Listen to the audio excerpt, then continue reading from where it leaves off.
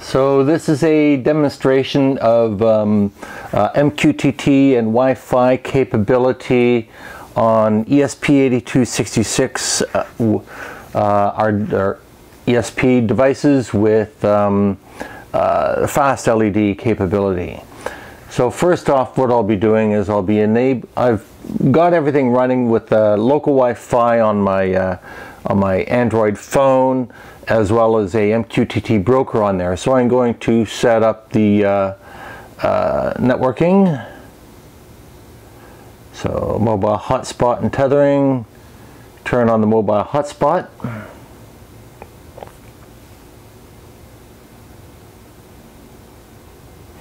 And I'm going to load up uh, load a configuration with the username and password on my on an MQTT broker that I've got running on there.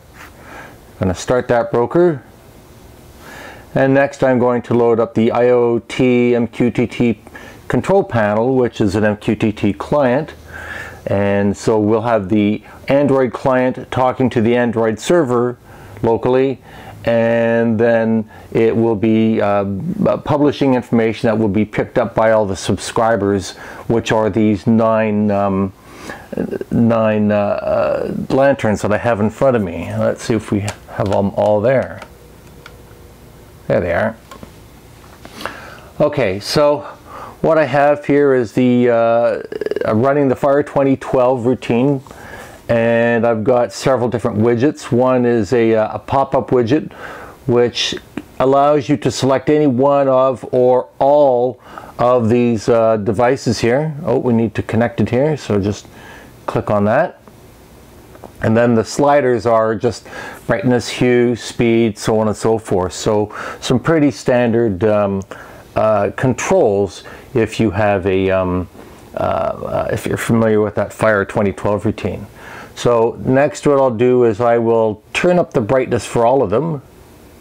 And so all of these nine separate uh, lanterns will go on, uh, will turn on. I can then select, let's say, uh, let's say number 11 over to the left, and I can change the hue of that guy. Let's select number uh, 14 somewhere in the middle, change his hue somewhere. I can change for uh, that guy, I can also increase the sparking a lot. So it's not necessarily as noticeable as some of the other functions.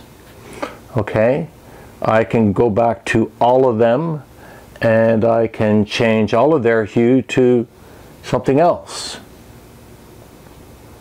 Okay, I can change the cooling, lower the cooling, and so it's going to be a much lower uh, flame. So again, go to let's see number 19 over on which is the right, change his brightness, now let's say change his hue, reduce his cooling, and uh, oh yeah, sorry, there we go, and he should be uh, he should be somewhat brighter. Okay, so that's uh, the advantage of this over most of the other interfaces that I've seen is that you can now control many different devices, one or many different devices with a simple uh, uh, control panel. Um, you don't need to use HTML, CSS, JavaScript, or any of that uh, functionality.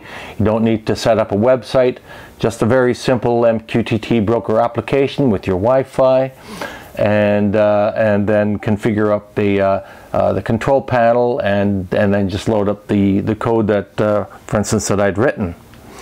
Um, let's see if I compare some of these different uh, wireless technologies the um, I've used infrared remote control and that works okay. The disadvantage of that is it's a little difficult, it's somewhat difficult to control individual uh, uh, displays like this. Bluetooth also, it's got a nice, um, nice application that you can run on a cell phone, but again, easy, more difficult to control multiple devices. On the web ones that I've seen, lots of uh, challenges developing the code and typically they'll attach to a single uh, a, a, single um, lantern so this was relatively easy to set up Okay, I hope you've enjoyed that, and I will pro be providing uh, links to all of this, to the code, as well as my website, which has got um, uh, some more um, tutorials on how to set this up.